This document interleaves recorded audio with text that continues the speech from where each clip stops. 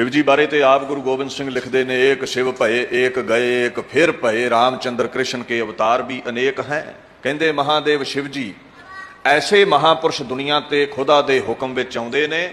ਵਾਹਿਗੁਰੂ ਦੇ ਹੁਕਮ ਵਿੱਚ ਚਲੇ ਜਾਂਦੇ ਨੇ ਮੈਂ ਕਹਿੰਦੇ ਉਸ ਸ਼ਿਵ ਦਾ ਉਪਾਸ਼ਕ ਹਾਂ ਜੋ ਸਦੀਵੀ ਹੈ ਜੋ ਪਰਮੇਸ਼ਵਰ ਹੈ ਜੋ ਇਹਨਾਂ ਦੇਵਤਿਆਂ ਦਾ ਵੀ ਮਾਲਕ ਹੈ